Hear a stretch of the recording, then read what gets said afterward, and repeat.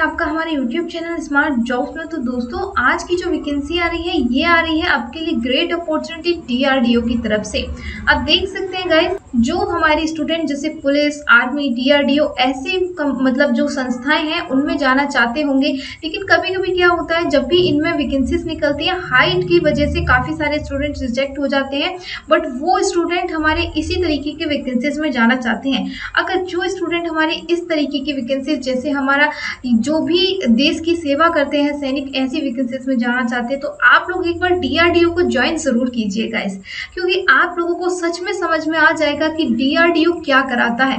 बहुत अच्छी रिक्रूटमेंट है, भले ही इसका जो है स्टाइपेंड कम रहता हो, लेकिन आप लोगों को पहली बार समझ में आ जाएगा कि हाँ अप्रेंटिस करनी चाहिए। तो हमें सिर्फ़ डीआरडीओ से करनी चाहिए। तो गाइस चलिए देख लेते हैं इस वैकेंसी के बारे में। और सबसे पहले चलिए मैं इसके बारे में मेन चीज़ बता देती हूँ, जो हमेशा हमारे स्टूडेंट बोलते रहते हैं, इसकी क्वालिफिकेशन देखिए, इस वैकेंसी के लिए ऑल इंडिया के कैंडिडेट अप्लाई कर सकते हैं, कहीं से भी हैं आप लोग सभी एलिजिबल हैं। दूसरा बात आता है कि गाइस इसकी क्वालिफिकेशन क्वालिफिकेशन में ITI candidate diploma candidate and साथ में ग्रेजुएशन कैंडिडेट भी एलिजिबल है। ग्रेजुएशन में जैसे भी E B all student eligible रहेंगे। बात करें गाइस हम लोग यहाँ एग्ज़ाम की या फिर किस तरीके से सिलेक्शन होगा इस चीज़ की। अब देखिए, आगे बढ़ने से पहले मैं उन स्टूडेंट को बोलना चाहूँगी जो इस क्वालिफिकेशन के लिए एलिजिबल नहीं है, वो वीडियो को लाइक करें और स्किप कर सकते हैं। कमेंट बॉक्स में अपना क्वालिफिकेशन एंड ब्रांच मेंशन कर दें, जिससे कि आने वाला वीडियो आप लोगों की क्वालिफिकेशन एंड ब्रांच से रिलेवेंट आ पाए। अब बात करें गैस इसकी वैकेंसी की। तो गैस यहाँ ना तो आप लोगों की कोई फ़ीस रहने वाली है no fees and no exam अब इससे ज़्यादा आप लोगों को क्या अच्छा मिलने वाला है।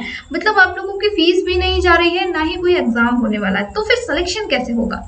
तो गाइस बता देते हैं हम लोग यहाँ पर। सिलेक्शन होगा आप लोगों का ओनली ऑन मेरिट बेस पर। अब डिपेंड करता है मेरिट बेस अब देखिए गाइस ज़्यादा स्टूडेंट रहते हैं, अब या फिर ये भी हो सकता है डिपेंड करता है कि उस टाइम पर आप लोगों का इंटरव्यू होगा या नहीं। वैसे नोटिफिकेशन में मैंशन किया हुआ है कि आपका जो इंटरव्यू घर बैठे होगा, वो भी वीडियो कॉन्फ्रेंसिंग के ज़रिए, किसके ज़रिए? वीडियो कॉन्फ्रेंसिंग के ज़रिए। कितना अच्छा बात है, आप लोगों को कहीं जाना भी नहीं पड़ेगा, आप लोग का सिलेक्शन भी घर से ही हो जाएगा। जब आप लोग की ज्वाइनिंग होगी, आप उस दिन जाएँगे, सिर्फ़ और सिर्फ़ उस दिन घर से जाना होगा आपको।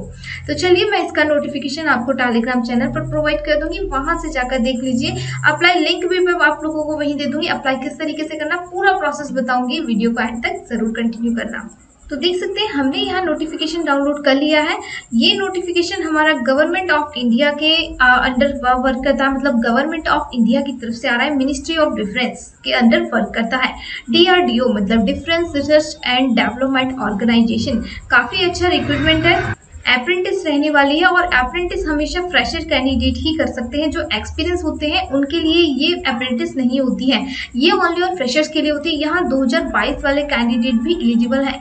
अब हमारे 2022 वाले अगर अप्रेंटिस करना चाहते हैं, उनका मार्कशीट नहीं आया है, वो तब भी अप्लाई कर सकते हैं। अब किस तरीके से करेंगे, वो मैं आपको बता देती हूँ ओके चलिए पहले थोड़ा स्कॉल कर लेते हैं। अब यहाँ सबसे पहले आप लोगों को दिया गया है जो आपकी कैटेगरी ओके और आपका ब्रांच दिया गया है क्वालिफिकेशन वैकेंसीज एंड स्टाइपेड सबसे पहले है ग्रेजुएट वालों के लिए बीई एंड बीटेक वालों के लिए computer science electronics and communication and mechanical ये स्टूडेंट अप्लाई कर सकते हैं, साथ ही इससे रिलेवेंट है, वो भी अप्लाई कर सकते हैं। बीई बीटेक होना चाहिए।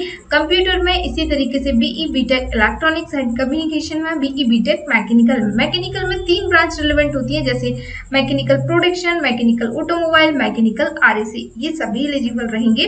नौ हज़ार स्टाइपेड दिया जाएगा। ये पर मंथली आपको स्टाइपेड दिया जाता है और जब ईयर कंप्लीट हो जाता है तो उसके बाद आप लोगों को एक सर्टिफिकेट भी प्रोवाइड किया जाता है। उसके आधार पर आप लोग कहीं भी जॉब पा सकते हैं। वन वन ईयर का एक्सपीरियंस होने के बाद दूसरा, जब भी डीआरडीओ में वैकेंसी निकलती है तो आपको उस चीज़ का रिलेक्सेशन मिलता है। टेक्नीशियन यहाँ टेक्नीशियन अप्रेंटिस है, ये है डिप्लोमा वालों के लिए है। सिविल वाले स्टूडेंट कंप्यूटर साइंस वाले electronics and communication and mechanical वाले एलिजिबल रहेंगे। इन्हीं ब्रांचेस से आप लोगों का डिप्लोमा कंप्लीट होना चाहिए। अब बात करेंगे यहाँ पर डिप्लोमा कितना साल का होना चाहिए तो तीन साल का हो या दो साल का हो डजेंट मैटर बस आप लोग का डिप्लोमा का होना चाहिए ओके यहाँ आपकी वैकेंसी दी गई है, आठ हज़ार मंथली स्टाइपेंड दिया जाएगा। नेक्स्ट है ट्रेड अप्रेंटिस आईटीआई वालों के लिए है। आईटीआई में जैसे electronics electrician fitter machinist and carpenter welder and diesel mechanic ये सभी आपकी ब्रांचेस रहने वाली हैं। अब इसी तरीके से यहाँ पर आईटीआई आप लोगों ने कर रखा है इन ट्रेड से तो आप लोग इसके लिए एलिजिबल हैं।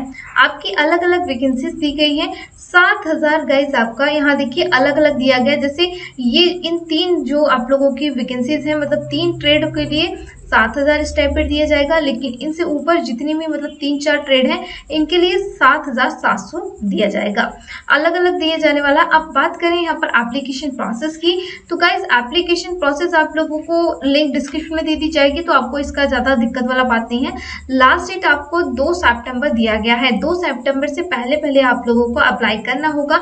अप्लाई का प्रोसेस बताने वाली हूँ मैं बट इससे पहले हम लोग सिलेक्शन प्रोसेस देख लेते हैं। सिलेक्शन प्रोसेस यहाँ आप लोगों का होगा शॉर्ट लिस्टेड के आधार पर। जैसे अगर डिप्लोमा में जितने मार्क्स गेन किए उसके आधार पर या फिर आईटीआई या फिर ग्रेजुएशन में जितने भी मार्क्स आप लोगों ने गेन किए हैं, उसके आधार पर मेरिट लिस्ट निकाली जाएगी, उसके आधार पर होगा। जैन आप लोग मेरिट लिस्ट में जब सेलेक्ट हो जाएँगे तो वीडियो कॉन्फ्रेंसिंग के ज़रिए एक जो है विजुअल मोड में मतलब जो वीडियो कॉन्फ्रेंसिंग की जाएगी विजुअल मोड में नॉर्मली आपका एक इंटरव्यू हो सकता है। ठीक है, फिर उसके बाद आफ्टर इंटरव्यू आप सेलेक्ट हो जाएँगे और आपका अपॉइंटमेंट लेटर घर पर आ जाएगा या फिर मेल के ज़रिए आपको दे दिया जाएगा, ठीक है? ये आप लोग को हो जाएगा। देन आप लोगों को यहाँ किस तरीके से अप्लाई करना है वो भी जानना है। अप्लाई करने के लिए सबसे पहले देखिए, सबसे फ़र्स्ट स्टेप फ़र्स्ट स्टेप बन जानिए, क्योंकि फ़र्स्ट स्टेप के ज़रिए आप लोग फ़र्स्ट स्टेप में आप लोग को एम पोर्टल पर क्या करना है? रजिस्ट्रेशन करना है। यहाँ करेंगे डिप्लोमा और ग्रेजुएशन वाले रजिस्ट्रेशन इसका लिंक मैं डिस्क्रिप्शन में दे दूँगी, वहाँ से जाकर उसी तरीके से कर लिए, कर लेना। और यहाँ ये जो लिंक दे रखा है, इस लिंक पे करेंगे आई वाले ओके तो आई वाले इस लिंक पे करेंगे रजिस्ट्रेशन फ़र्स्ट स्टेप में। आप जैसे मैंने डिप्लोमा ग्रेजुएशन वालों के लिए बताया, उसी तरीके से आईटीआई वालों के लिए करना है। वहाँ से जाकर वीडियो को देख लेना। लिंक डिस्क्रिप्शन में दे दी जाएगी। उसी तरीके से करना है। ओके अब देखिए थोड़ा स्कॉल करें। उसमें करने के बाद आप लोग देखिए, ये बात आप लोग हमेशा जान रखिए। जब भी आप लोग एम पोर्टल पर रजिस्ट्रेशन करते हैं, एक बार ही कर सकते हैं। अगर आपने पहले कर रखा है तो दोबारा नहीं करना है। सिर्फ़ वही, जो वही डॉक्यूमेंट आप लोगों ने किया होगा सबमिट वगैरह तो उसका एक पीडीएफ मतलब जो प्रिंट होता है वो निकाल लेना। प्रिंट आप लोगों का यहाँ वर्क करेगा। अब देखिए, ये जो आप लोग का पूरा फॉर्म है, ये अच्छे से फिलअप करना है, ठीक है? सिंपल फॉर्म है, जैसे फ़ोटो लगाना है, यहाँ पर अपना जो भी क्वालिफिकेशन है, वो डालना father's name nationality date of birth ये सभी अपना एजुकेशन डिप्लोमा किया तो डिप्लोमा भरेंगे, ये सभी डाला अब देखिए, इन्होंने लास्ट में जो बोला है, उस चीज़ को थोड़ा ध्यान से पढ़े। इन्होंने लिखा है हैंड रिटेन ये पूरा फॉर्म हैंड से भरना है, कहने का मतलब इसका जो है प्रिंट निकलवाना फिर हैंड से पूरा भरना है, यहाँ सिग्नेचर करना है यहाँ पर, ठीक है? उसके बाद आप लोग का अगर ये इनकम्प्लीट रह जाता है तो ये रिजेक्ट कर दिया जाएगा, ठीक है? तो आप लोग इस चीज़ में ये ना कहें कि ये रिजेक्ट क्यों कर दिया, क्योंकि आप लोगों का इनकम्प्लीट फॉर्म रहेगा तो ये रिजेक्ट कर दिया जाएगा। जब आप लोग पूरा फ़ोटो वगैरह लगा के इसे रेडी कर लेंगे रेडी करने के बाद इसका एक अच्छा सा आप लोग फ़ोटो खींचिए पीडीएफ फॉर्म में कन्वर्ट कीजिए। और आप लोग अपने डॉक्यूमेंट जैसे डॉक्यूमेंट में marksheet Aadhaar card, PAN card, ये सभी आप लोग डॉक्यूमेंट अपने पीडीएफ बना लें। पीडीएफ बना के, ठीक है? पीडीएफ बनाने के बाद ये ईमेल आईडी दी गई है। ईमेल आईडी पर सेंड कर दें। यहाँ पर दिया गया देख सकते हैं पीडीएफ फॉर्मेट ठीक है must be send through email तो ईमेल के माध्यम से आप इस पर सेंड कर देंगे। आप लोगों के ये डॉक्यूमेंट जो है चेक होंगे और वहाँ से मेरिट लिस्ट निकाली जाएगी। तो इस तरीके से आपका सिलेक्शन होगा और सिलेक्शन प्रोसेस भी यही है और आपको अप्लाई इस तरीके से करना है। वीडियो पसंद आए, वीडियो को लाइक एंड चैनल को सब्सक्राइब ज़रूर कर लेना गाइस और टेलीग्राम चैनल ज़रूर ज्वाइन कर लेना जिससे कि छोटी छोटी अपडेट मैं आप लोगों को वहाँ पर इन्फॉर्मेशन देती रहती हूँ। आप लोगों की कोई भी इन्फॉर्मेशन ना छूटे, आप लोग वहाँ पर ज्वाइन कर सकते हैं। Link description and comment box में पिन किया गया है।